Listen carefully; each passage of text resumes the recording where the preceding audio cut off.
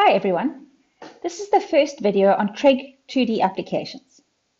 It's assumed that when you're watching this video, you already know how to use the sine, cosine, and area rules, as well as the ratios for right angle triangles. Let's get going. Now before we go to an example, let's quickly look at the ratios and rules that we know already from trigonometry for triangles. Let's start with right angle triangles. Now a triangle is right angled if it has a right angle or a 90 degree angle. Never assume that a triangle is right angled unless you're told that an angle is 90 degrees. So when you have a 90 degree angle in a triangle, your longest side will be opposite that 90 degree. And that longest side is called the hypotenuse. I'm sure just hearing the name hypotenuse reminds you about the theorem of Pythagoras. Now, in the theorem of Pythagoras, it states that the sum of the two sides squared equals to the hypotenuse squared. So if I look at the formula I've written there, a squared plus b squared is equal to c squared. This brings me to reminding you how to label a triangle. The standard way to label a triangle is to label the side opposite the angle, the letter of the angle but lowercase. So let me give you an example. The top angle would be uppercase A because it's opposite side A. The right angle will be angle C. And for my diagram here, the other angle will be angle B because it's opposite side B, lowercase b. The next rule I know about right angle triangles is that I know the ratios. Sine is opposite of a hypotenuse, cos is adjacent a hypotenuse, and tan is opposite of adjacent.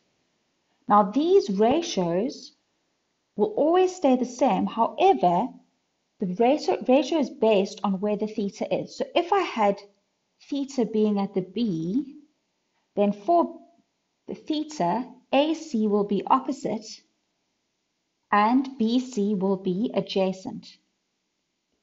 However, if I was to have theta at the A, then BC will be opposite and AC will be adjacent. And the hypotenuse doesn't change the position. The last thing I know about a right angled triangle is that I always know what the height is because the base and the height are going to be perpendicular to each other. So in this picture, I could see that the area of the triangle would be half times if I made BC my base, then my height would be AC. Or if I made AC my base, then BC would be my height. Let's go on to the rules for any triangle. Now the rules, the sine rule, the cos rule, and the area rule can also be used for right angle triangles. However, you can't use the rules for right angle triangles for non-right angle triangles.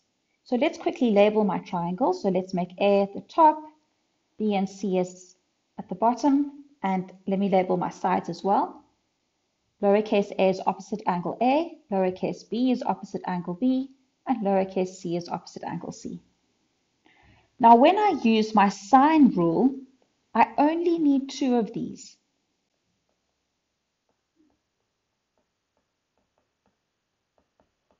You don't need to make an equation with two equal signs. You can just choose two based on what you need. Also, you can also use sine A over lowercase a is sine B over lowercase b. Now, when you've got the sine rule, you need a pair of side and angle. And what I mean by a side and angle as a pair is they must be opposite each other.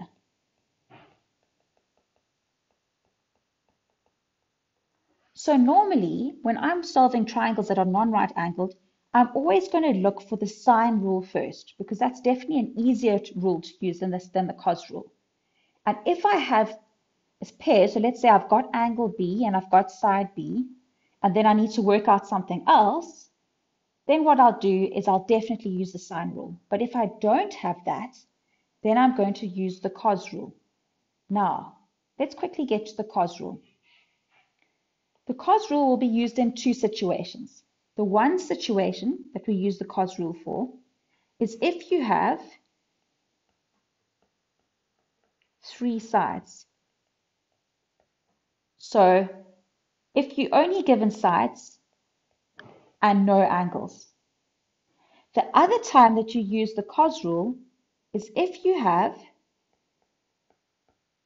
two sides and an included angle.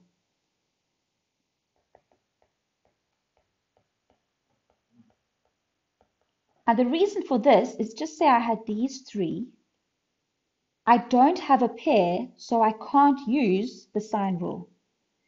Lastly, the area rule, if I was to think I need AB sine C, let's quickly circle those.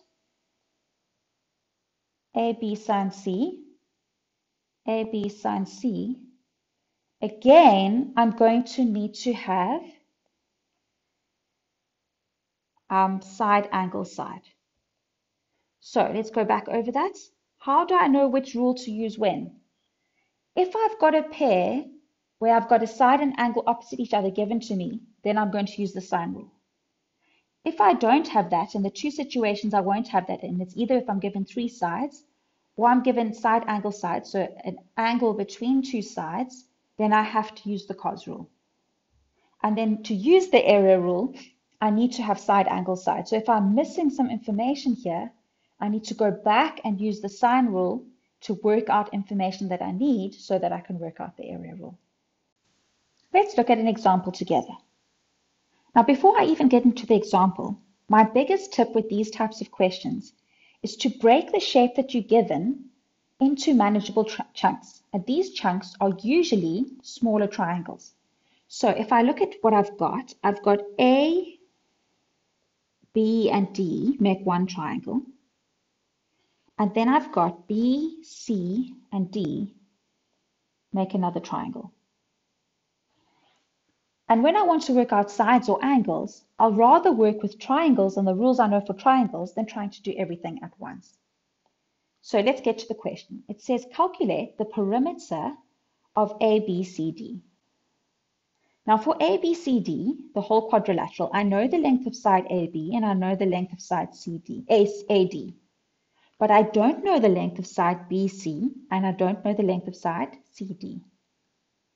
So if I look at the yellow triangle, triangle BCD, you'll see that I don't have enough information to work out the sides that I need. I just have angles, which means I'm going to have to go back to triangle ABD and work out the length of that missing side. So let's see. Let's write down what I'm doing. In triangle ABD. The length I want to work out is BD. Now, which rule am I going to use? I have a side, a side, and an angle. I do not have a pair, so I'm going to have to use the cosine rule. So the cosine rule is going to state BD squared is AB squared plus AD squared minus 2 times AB times AD times cos of, a, of A.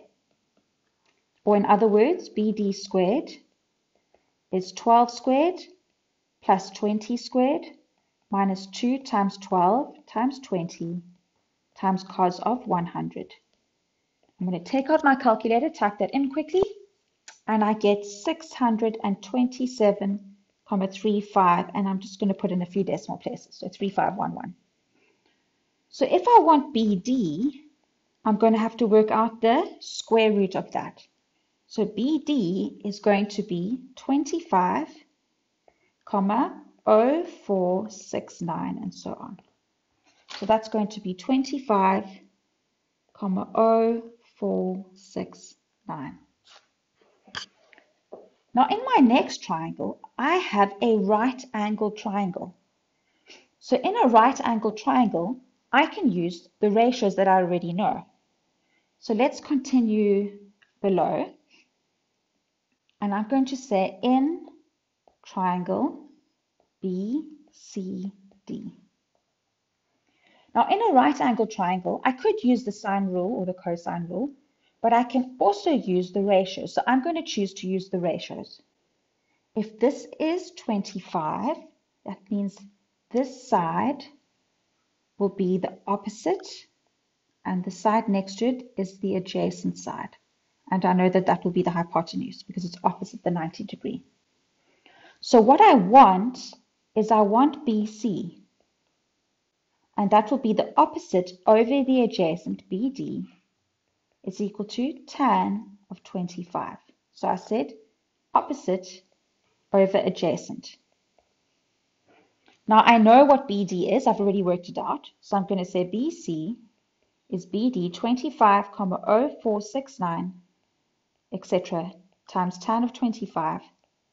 If I was using a calculator, I wouldn't have even erased the number before and just used the answer. And so what I get is 11, 6795, etc. So let's put that into my sketch. I've got 11, 6795. Now let's go back to what I'm trying to do. I'm trying to calculate the perimeter. So the last thing I need is going to be side CD. So I'm still in triangle BCD. CD, and let's, oh, I've got a right angle triangle with two sides, so let's use Pythagoras. CD squared is going to be 25,0469 squared plus 11,6795 squared. And my reason is Pythagoras. And so I get CD squared is going to be 7, ooh, oops, 763, comma 764, etc. And so I must square root that. So CD will be 27, comma 6362.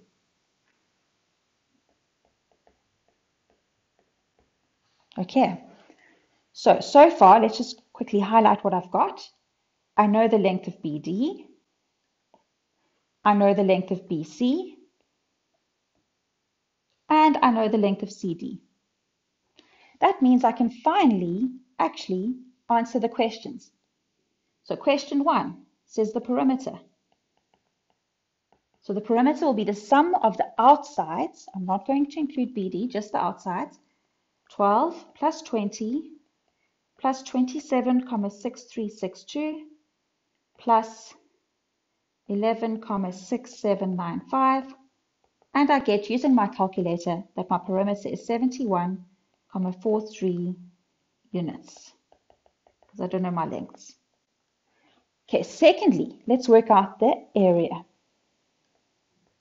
Now I don't know the formula for the area of a, a quadrilateral like this, but I do know the formula for the areas of the triangles. So I'm going to say that the area is going to be equal to the area of triangle ABD plus the area of triangle BCD.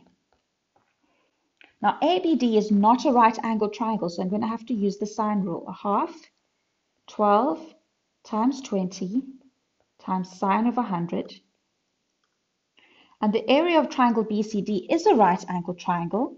So I'm going to say a half times base, 6795 times by the height, 25, comma, etc. I'm going to add those two together and I get the area being 264,44 centimeters squared.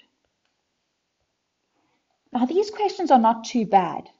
You just need to keep yourself calm. Remember, you can only use the sine rule and cosine, actually not only, you can always use the sine rule and cosine rule. However, you can only use the ratios and Pythagoras if you have a right angle triangle. So just be careful that what, which formulas you use are appropriate to your situation. Also, can you see I didn't work out every single angle in the, in the shape. I only worked out what I needed to be able to answer the questions. So remember, my first suggestion is, is that you break your object up into triangles. Then work out, is there maybe a linking side you can calculate so that you can answer the question?